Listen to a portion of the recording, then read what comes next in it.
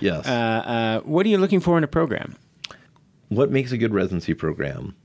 Or what are you looking for in a residency program? The good answer is going to focus on the program itself and is going to focus on attributes that you think define you. So those two things mesh together.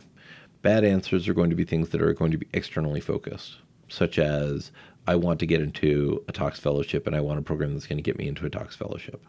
Or answers such as I really want to ski. That's why I'm coming here. Anything that's focused both between yourself and the program is a great answer.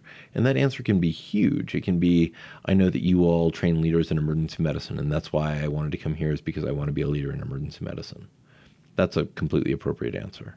I think the clinical training that you all set up is perfect for my learning style. That's a great answer. Anything that's like that, that links your interests and the program's interests, are really going to be a successful answer to that. But make sure you know why you're answering that. If you say, I think the clinical training you've set up is going to be great for my learning style, and the person says, So tell me about your learning style, you have to be able to answer that. So I think uh, that's definitely definitely true. And also why you can't give the same answer to every program. If you are interested in doing research and you're going to go somewhere, you're going to say, I'm really excited about doing advanced uh, emergency and uh, you know resuscitative research, and you go to a program that isn't doing that, it's going to come off as awkward.